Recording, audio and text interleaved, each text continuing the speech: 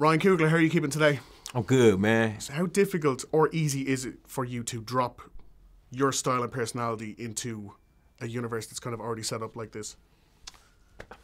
It was it wasn't it wasn't that challenging to be honest. Like, um, as far as like artistically, you know, um, I've had to every film that I've done so far has been a, has been a leap in terms of scope and scale and, and skill sets that I had to learn on the on the, on the job. You know, um, so so so that part was was was you know that part was there obviously. You know, um, uh, there's a lot more a lot more toys to play with, a lot more things that have to happen, a lot more characters.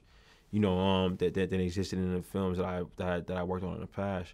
Um, but I was supported, you know, by the, by the studio. In, in, in terms of like, you know, I I've had experience like, you know, um, my second movie Creed was a Rocky was a Rocky movie. You know, um, you know it was it was it, you know it was a, it was a film that had to exist in that universe in that context.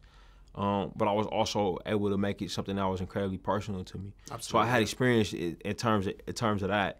Well, and then this was this was very similar, you know, and, and also um, the Black Panther comics are so different from anything else Yeah. in comics, you know. So it kind of lends itself you know, when when when when when Kevin and those guys say, "Hey, we want to make a Black Panther movie," you kind of know it's gonna be different from everything else. You know what I'm saying? So you had that you had that buffer to be able to lean into the material and, and be true to the material, and that'll make it unique. This is your uh, third time working with Mr. Michael B. Jordan. He's absolutely fantastic. Obviously, you think so as well Oh, thank because you. you've worked with him every time, and he's brilliant in all of your movies. Uh, in this, he is a bit more kick-ass, and he's a bit more negatively shaded, let's say, because he, he skews more towards the bad guy side. Um, Yeah, I, I would say he skews pretty heavily. well, he, he has his reasons, but they, Yeah. they- he goes about them all wrong. Was it fun for you to get uh, uh, someone who I assume is a friend of yours to, to be that kind of evil? it's, it's always great to work with Mike. You know, it's always great to work with Mike. I, I recommend hiring him to any filmmaker. You know, he's really he's really good.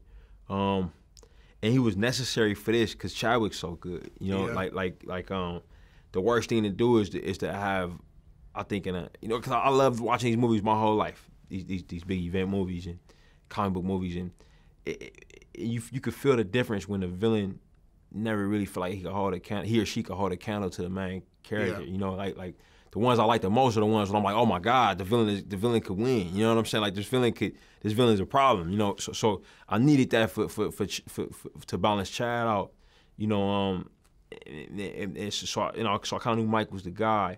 And then when I when I knew what, what, what I wanted Killmonger to be, what we were thinking Killmonger should be, you know, um, you know, you you, you needed somebody with the charisma and and, and, and the physicality, um, and, and the acting intelligence, you know, that that, Yeah. that, that Mike that Mike has to to to, to do that.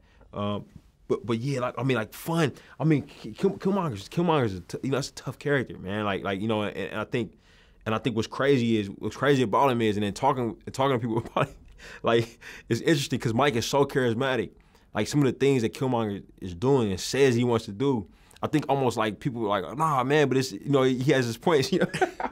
It's, because Michael's doing it. You're like, it's, kind of on his side. Yeah, like, like, like, it's, it's, it's, it's like it's like oh man, like this dude says he wants to like, you know, murder children. You know what I'm, you know what I'm saying? And and and, it, and it's like, yo, your reasons can be your reasons can be completely justified, but like at a certain point, you know. But Mike is so charismatic, Yeah. and, and I think that the character is dynamic enough that you you understand. You know what I mean? You understand. You under, you you empathize with him. Absolutely. You know, and and, and, and, and you understand uh, where they're coming from, which makes it all the more frightening. I think. You know. Absolutely. Ryan Coogler, thank you so much. oh, thank you too. I waited my entire life for this. The world's gonna start over. I'ma burn it all. What happens now determines what happens to the rest of the world.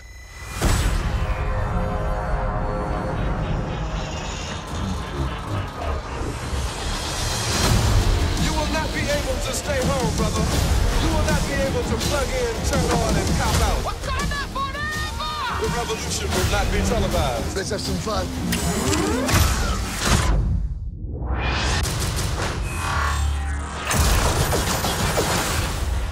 The revolution will be live.